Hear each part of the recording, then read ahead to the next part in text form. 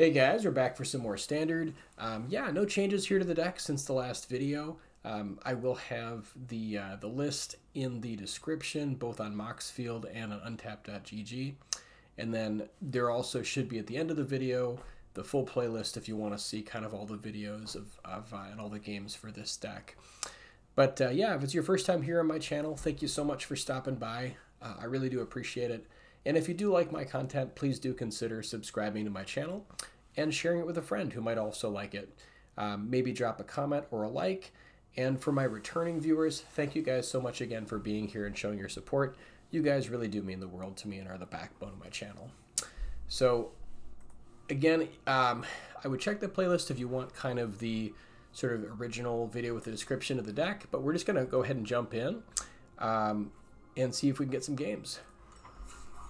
If you do really like my content and you want to, you know, leave a tip, thank me, um, there is a way to do it. So if you go to the little more icon, um, you can actually donate via super thanks. So if you want to leave a tip, um, I greatly appreciate it. You don't have to, but if you want to show your support and your thanks, there's another way to do that, and you can do that right in the um, through YouTube here. So, all right, let's get into some games.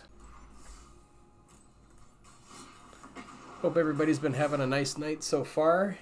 And uh, yeah, I just it's been really fun doing mono red. It just feels uh, just like nice and easy and clean and yeah, I've been enjoying it. Okay, this hand is great. We've got good turn one uh, Kumano into Codebreaker or Swiftspear plus Play with Fire. Looks like we're up against uh, possibly like the Gruul Picnic Ruiner deck, um, or maybe sort of like a bigger creature strategy deck. And we could try to get rid of Adaptive here, but I think going just for the Kumano play is going to be pretty good.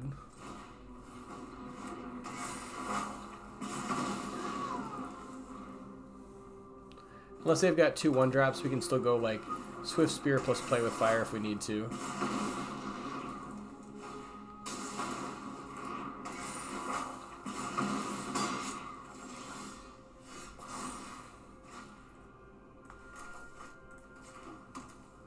Yeah, so I think here we're just racing. Um, and I think just going Swiftspear plus Kumano is probably going to be just fine, honestly.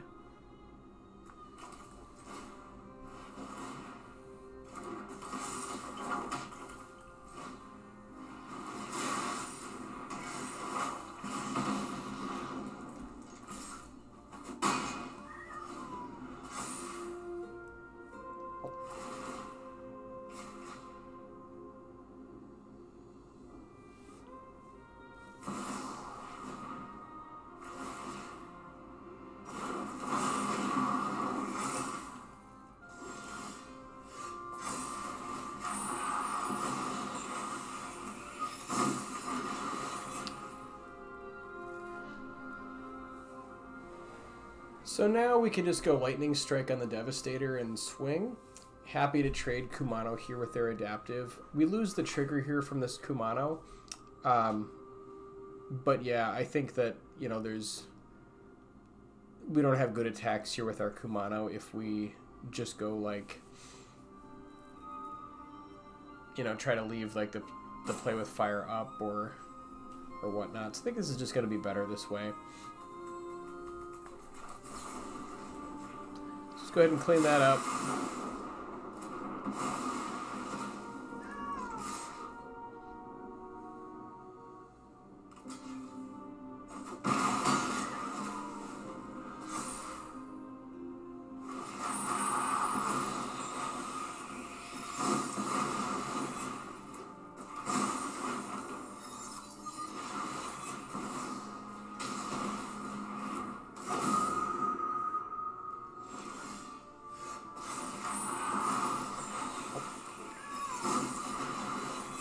So now they've got Kodama. Um, how do we want to do this? Could go like Invasion on one of the Kumanos, making our Swiftspear a 3-4, then swing into it and see what they want to do.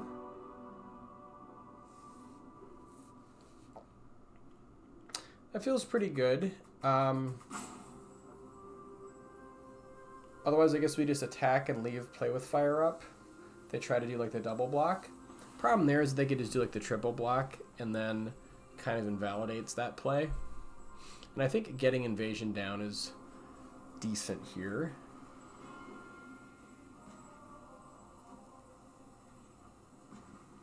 This way we at least get to trade with Kodama.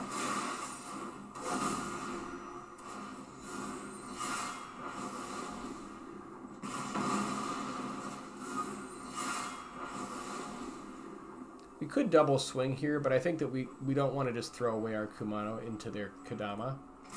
So I think we just push with Swiftspear and see what they do. Yeah, and, and then we're, we're willing to make this trade.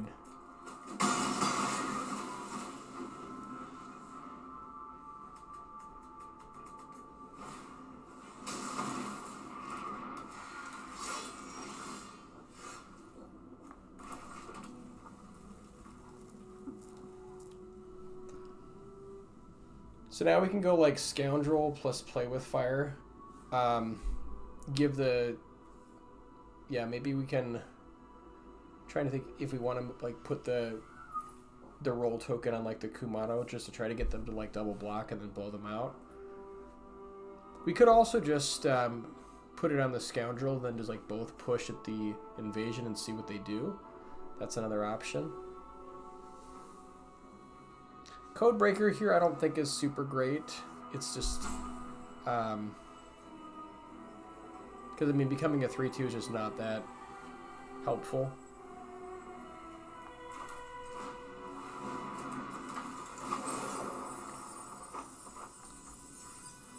I guess this like is like more of a blowout, but we missed some damage here. Um, yeah, I think it even though we're missing a little bit of damage, I think this is like a better potential for a blowout here. And then if they don't block, we just get them.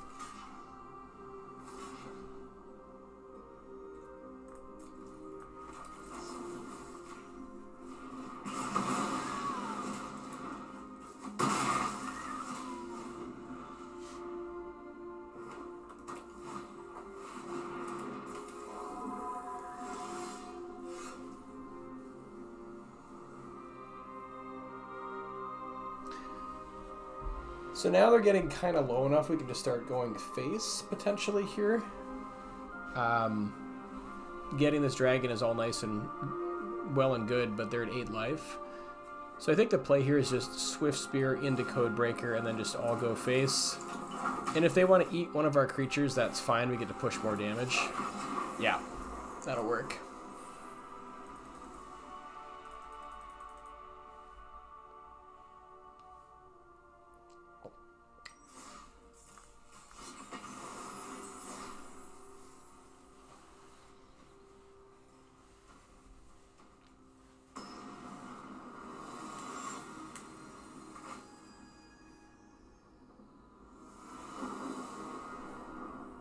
All right, opening hand looks great.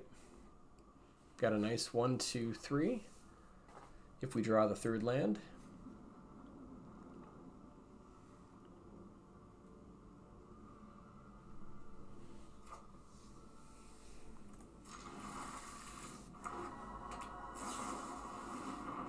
Looks like we're up against the helping hand deck here.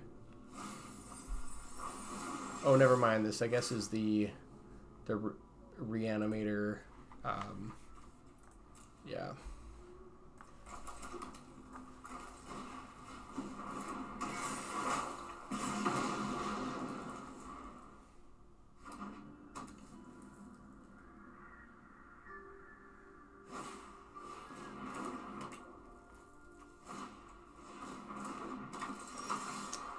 Okay, and they've got Grifter here, so we need removal really quickly. Unfortunately, we haven't got any in hand.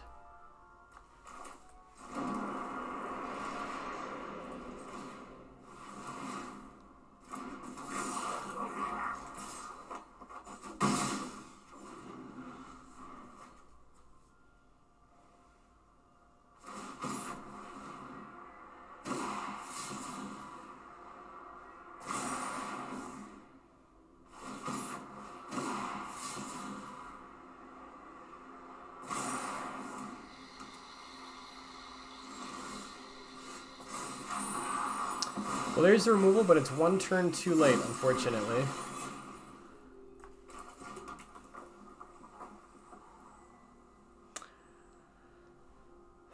So they can make this thing a 4-5. Um, Monstrous Rage can still deal with it. So I think the play here is just Codebreaker, then see what they do.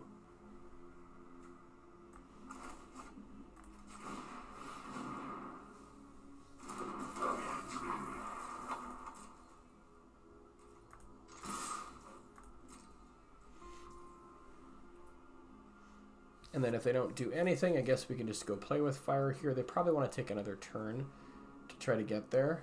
Um,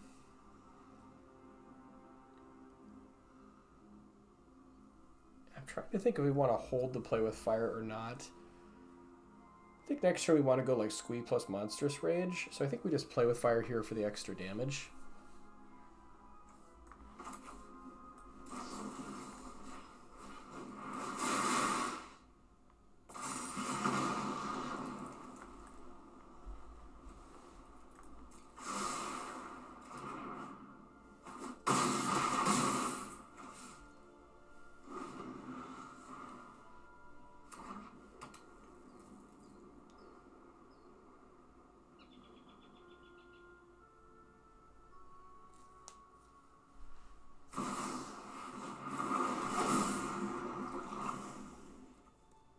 Okay, they've got Kami in there so they could get extra mana going.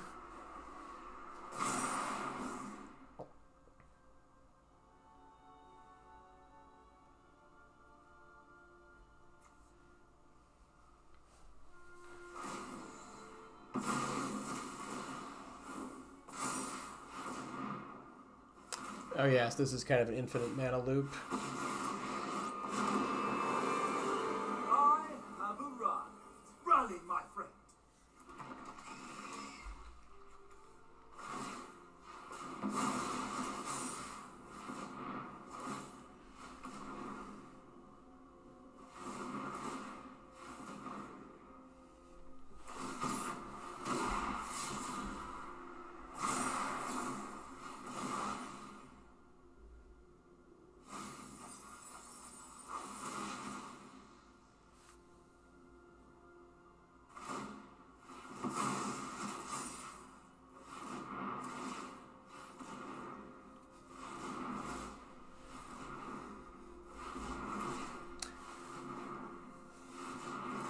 So I'm curious, like, what the is it? Just like a they just drain us out somehow, or like mill us for a bunch?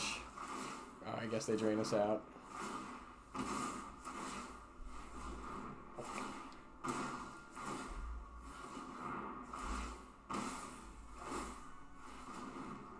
Yeah, I think we really just needed the removal on the right turn to be able to deal with the Grifter before it went kind of nuclear here.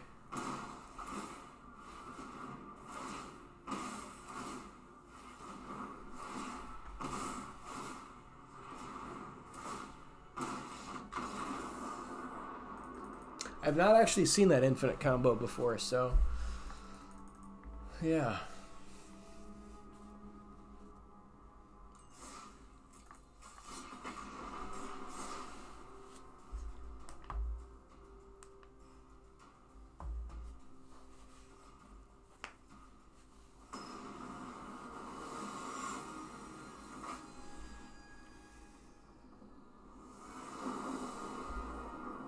All right, opening hand looks great.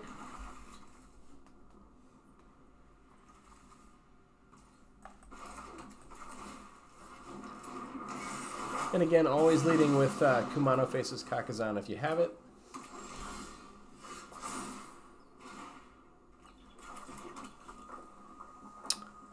Um. Hmm. guess the damage is the same. I'll just, uh, I think since we're going to get double triggers off of it, I'd rather get the Swiftspears going now. I don't think it really matters because we'll have three mana out, I suppose.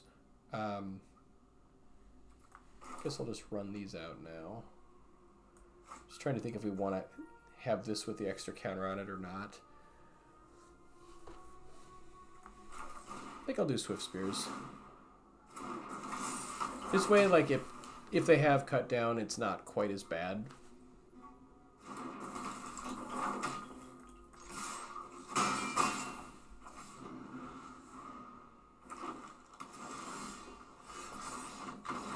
Yeah, I guess that's gonna be enough.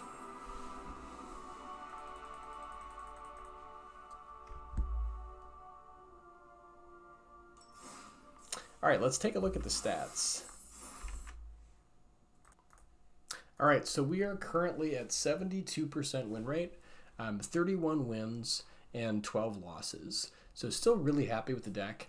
Um, mono red, we're at 70%, 7 wins, 3 losses. Um, Boros Convoke, 7 and 1, 3 and 1 against blue white control. Um, 3 and 1 here against Dimir, 3 and 0 against mono white. Looks like 1 and 2 against Rakdos, so maybe a little bit of a tough matchup. Um, this one here, I guess maybe just the artifact deck or something like that, or maybe just not enough data to calculate what this was. Um, 2 0 against Mono Black, 0 2 against Esper, um, 2 0 against Gruul, and then 0 and 1 against Selesnya Enchantments, 1 0 against Golgari, and looks like um, Sultai maybe, or this possibly Domain here, um, 0 and 1. But yeah, overall, very happy with the deck so far. And uh, we'll see you guys in the next one. And remember, you guys are awesome. Thank you so much for being here, and I really appreciate you.